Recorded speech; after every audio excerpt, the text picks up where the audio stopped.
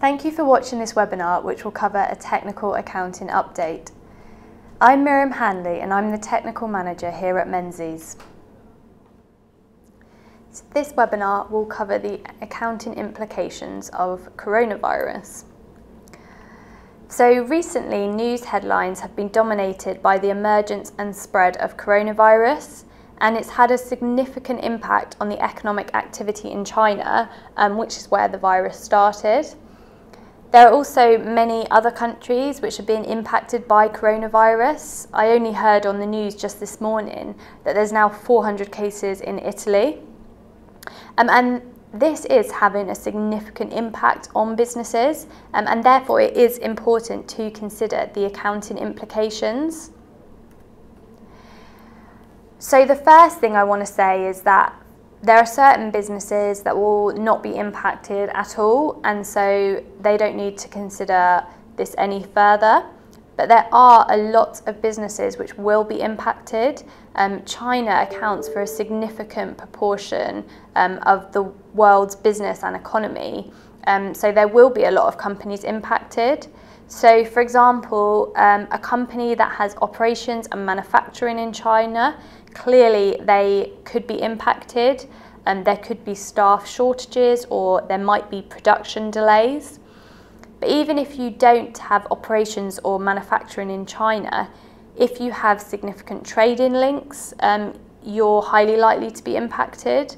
Um, or if your supply chain is dependent on Chinese manufactured goods, um, again, you might be impacted. So um, I think J, it was JCB recently announced that they're going to have to reduce staff production hours in their factories due to not being able to obtain components from China. Um, so that is just one example.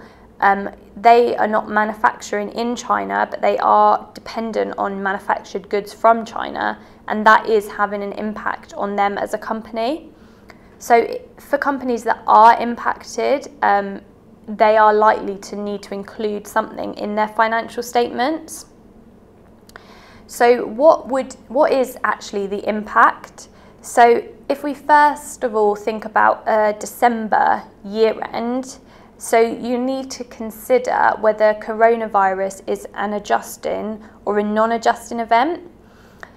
So if you think about the situation back in December, so at the 31st of December 2019, um, there was actually only a limited number of cases of coronavirus and there was no evidence of human transition at this point.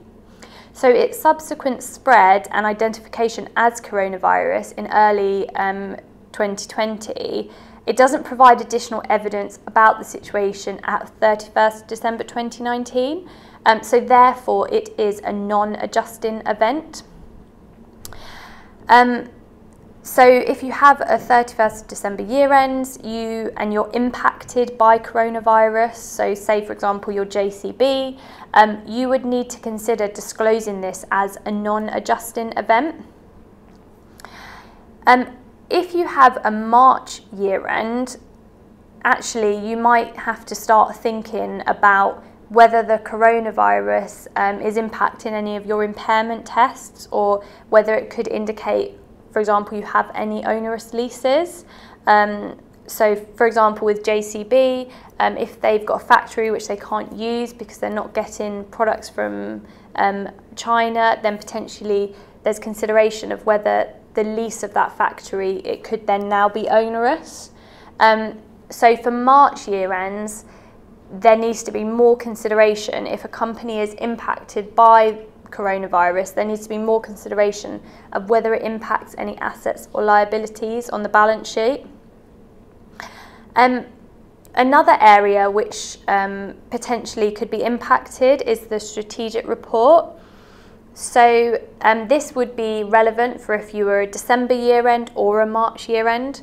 So the strategic report is required to disclose principal risks and uncertainties um, and for some businesses that have been significantly impacted, um, coronavirus could be one of these principal risks which need to be disclosed in the strategic report. Um, so you need to carefully consider um, what disclosure is required. Um, and finally, Um, even if, if you're a December or a March year end, the coronavirus might be impacting um, your going concern status. Um, so, for example, if you are a retailer, um, so you're a clothes retailer, they're already struggling. There's already it's already a very difficult um, sector. Um, and if you are, rely on your clothes being made in China and you're not able to get your next seasons of clothes, this could have a severe detrimental impact on an, a company's finances. So could then impact um, the going concern status. So potentially you'll then need additional disclosure of a going concern uncertainty.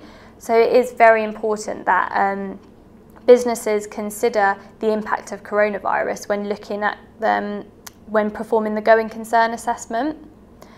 So that's the main areas um, that have been impacted. Um, as I said, it's not going to impact all companies. It's only those which um, have kind of significant trading links with China or, you know, maybe are um, trading with China or getting um, components from China to feed into their manufacturing. So we've covered the um, financial reporting implications of coronavirus and if this is applicable to you and you have further questions, please feel free to contact myself or someone else at Menzies. Thank you for listening.